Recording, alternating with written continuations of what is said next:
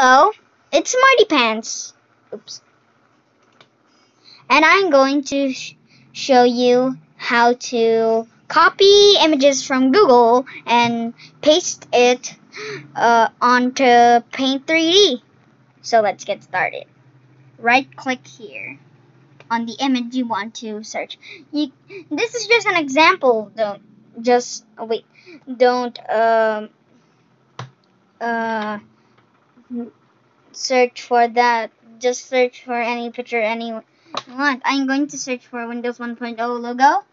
So here it is. So right click there. And then left left click copy image. And then left click the start button. And then go to the letter P. Here, letter P. Paint 3D. Okay. Right click. Paste.